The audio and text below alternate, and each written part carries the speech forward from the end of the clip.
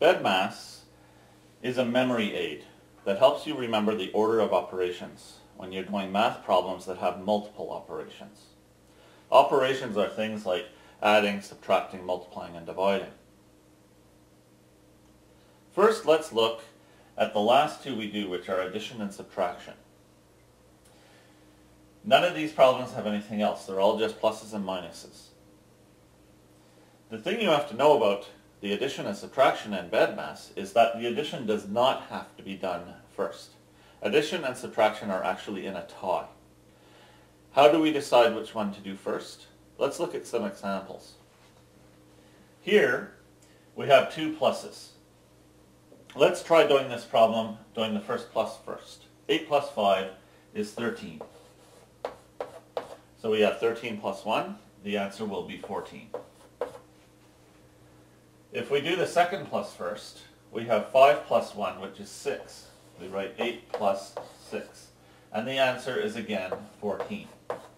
So when you have more than one plus sign, it doesn't really matter which order you do them in. Let's see if it's the same with minus signs. 8 minus 5 is 3. And 3 minus 1 is 2. But if we do the second minus sign first, 5 minus 1 is 4. So we have 8 minus 4. And 8 minus 4 is 4. We got two different answers. Minus signs introduce something tricky into this. Which is the right answer? The first one is. Now let's look at this third example where I have a mixture of minus and plus. If we do this minus first, 8 minus 5 is 3 we have 3 plus 1, and 3 plus 1 is 4. If we do the plus over here first, 5 plus 1 is 6, so I get 8 minus 6. 8 minus 6 is 2. The answers are different again. The minus sign is causing some problems. Again, this is the wrong answer, and this is the right answer. So the rule that we have to learn with addition and subtraction in BEDMAS is you don't always have to do addition first. What you have to do is do the leftmost one first. For all three of these problems, we should do the first operation first, get an answer, and then do the second operation, and then we will always get our question right.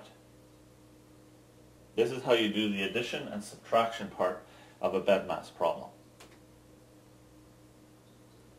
Now let's look at the division and multiplication part of our BEDMAS memory aid.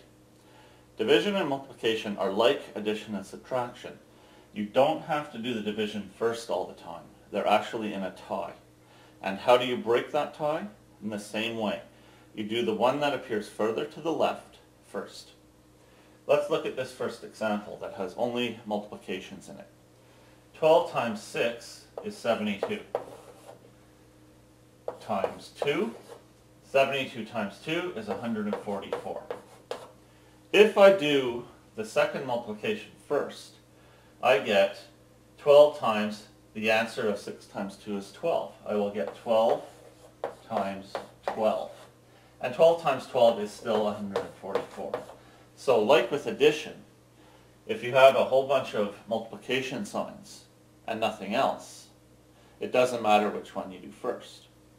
What about divided by signs? If we do the first one first, 12 divided by 6 is 2. And we have 2 divided by 2. And 2 divided by 2 is 1. If we do the second divided by first, 6 divided by 2 is 3. This becomes 12 divided by 3. And 12 divided by 3 is 4. It's happened again. We're getting two different answers, like we did when we had two minus signs. So divided by signs, like minus signs, introduce something tricky, and we have to be careful how we apply our rule.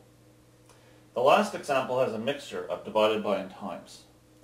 12 divided by 6 is 2. I end up with 2 times 2, and 2 times 2 is 4. If I do it in the other order, if I do this multiplication first, 6 times 2 is 12. This is going to become 12 divided by 12, and 12 divided by 12 is 1. It happened again. We got two different answers.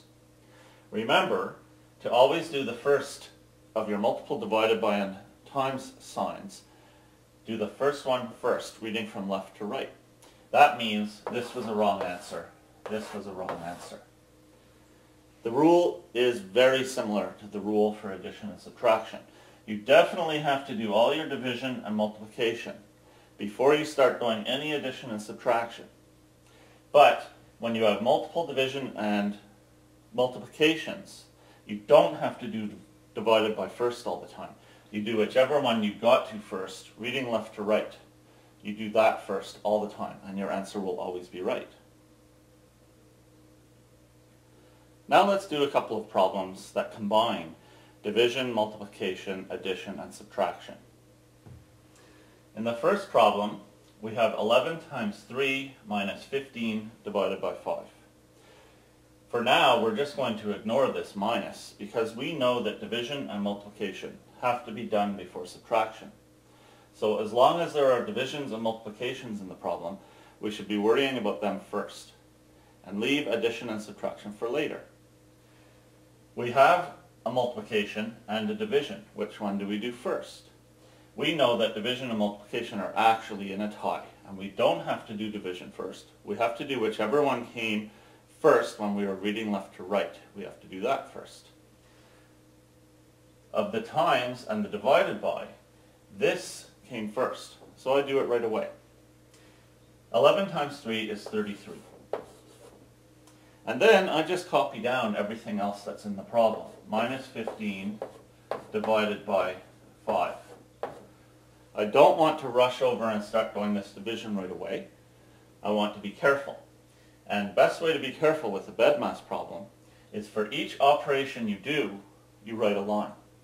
If we have a problem with three operators like we do here, we're going to end up writing three lines. Now, looking at what we have left, we have a subtraction and a division. And we know the division has to come first before the subtraction. So we're going to do 15 divided by 5, which is 3. The rest of the problem, we just copy down. 33 minus 3 is all that's left. Now that there's only one operator left, it's safe to do our subtraction. 33 minus 3 is 30.